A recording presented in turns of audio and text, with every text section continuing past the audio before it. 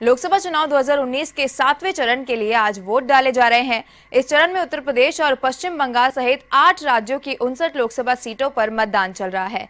पिछले छह चरण के चुनाव में चार सौ चौरासी सीटों पर मतदान संपन्न हो चुका है और सातवें चरण में पंजाब और उत्तर प्रदेश की तेरह तेरह बिहार और मध्य प्रदेश की आठ आठ पश्चिम बंगाल की नौ, हिमाचल प्रदेश की चार और साथ ही झारखंड की तीन और चंडीगढ़ सीट पर मतदान चल रहा है। संसदीय सीटों के कई बूथों और दो विधानसभा क्षेत्रों में भी पुनः मतदान हो रहा है।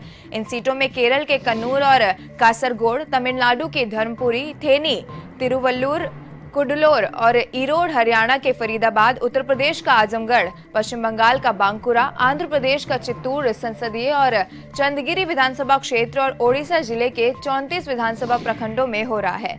तमिलनाडु में चार विधानसभा सीटों पर, कर्नाटक में दो और पणजी विधानसभा सीट पर भी उपचुनाव के लिए मतदान हो रहा है। आपको बता दें कि आज कई दिग्गजों की किस्मत ईवीएम में कैद हो जाएगी। पश्चिम बंगाल की भी नोटों पर मतदान हो रहा है। हिमाचल प्रदेश की बात करें तो यहाँ की भी चार सीटों पर वोटिंग लगातार जारी है। झारखंड की तीन और चंडीगढ़ की भी सीट पर मतदान हो रहा है। संसदीय सीटों के कई बूथों और दो विधानसभा क्षेत्रों में भी पुनः मतदान हो रहा है। और इस आखिरी चरण के मतदान में कई दिग्गजों की प्रतिष्ठा भी आज दाव पर है।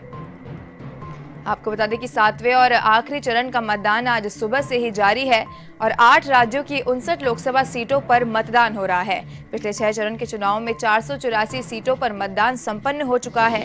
सातवें चरण में पंजाब और उत्तर प्रदेश की तेरह तेरह और बिहार और मध्य प्रदेश की आठ आठ सीटों पर भी वोटिंग हो रही है। साथ ही पश्चिम बंगाल की नौ सीटों पर भी यहाँ मतदान हो रहा है। हिमाचल प्रदेश की बात करें तो यहाँ भी चार सीटों पर मतदान हो रहा है। झारखंड की तीन, चंडीगढ़ की एक सीट पर भी मतदान जारी है। और इन संसदीय सीटों के अलावा दो विधानसभा क्षेत्रों में भी पुनः मतदान हो रहा है।